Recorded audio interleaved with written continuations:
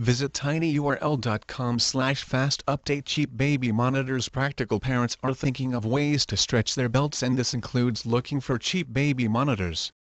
But of course, it may be cheap but they make sure that the monitors they get still have good quality and can provide them with the services that they are looking for and are expecting from baby monitors.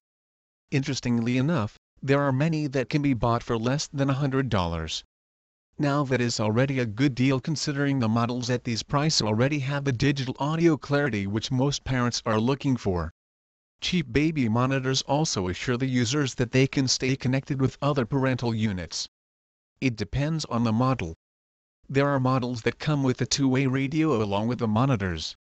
Visit tinyurl.com slash fast update.